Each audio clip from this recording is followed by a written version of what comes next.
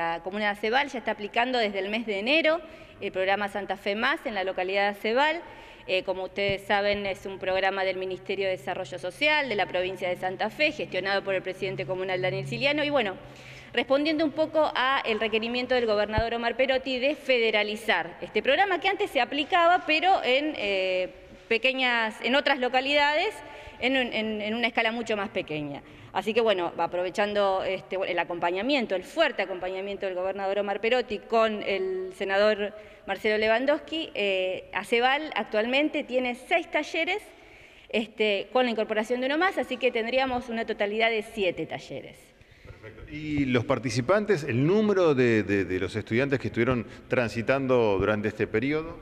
Eh, aproximadamente tenemos 70 eh, alumnos. Con la incorporación de este nuevo taller seguramente eh, se va a incrementar. Tenemos un taller de paisajismo, un taller de calzado, un taller de reciclado, huerta orgánica, se incorpora en el de operador de PC y junto con este, el Club Estrella se va a llevar a cabo el taller de albañilería. Muy bien. Y hay que tener en cuenta que se suma a esta situación una beca que acompaña también, ¿no?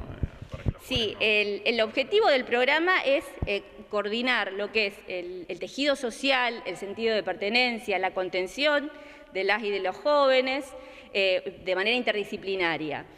Como, contraprestación, este, se incentiva a los, chicos con eh, una beca que es de 3.000 pesos, que actualmente las están cobrando en el Santa Fe Servicios, pero eh, el objetivo es que todos tengan una tarjeta de débito para que las puedan cobrar este, en cualquier cajero. Eh, este, el objetivo no es el asistencialismo, es decir, le pagamos para que vayan a un curso. No, el objetivo es incentivarlos, para que lo puedan utilizar en la compra de herramientas. Los chicos utilizan muchos este, insumos en los talleres, o sea que la mayoría de los, de los chicos lo utilizan en, la compra de algún tipo de insumo para poder continuar eh, con, el cursado del taller. De ese modo ingresan al mercado laboral. ¿eh? eh el objetivo del programa es este, es capacitarlos para este, continuar, buscar una mejor calidad de trabajo, eh, enseñarles un oficio y poder, este, bueno, autoproveerse el trabajo.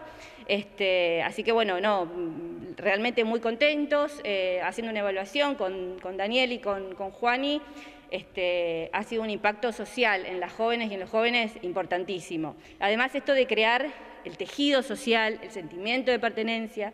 Por ejemplo, los chicos de paisajismo están trabajando en la plaza en los distintos espacios públicos, pero en la Plaza Rogelio Siliano. Y la verdad que ese sentimiento de pertenencia, de tener su proyecto eh, plasmado en una plaza que va a quedar para las futuras generaciones, eh, es un orgullo terrible para los chicos y bueno, para, para la comuna también. ¿Cómo hago para inscribirme?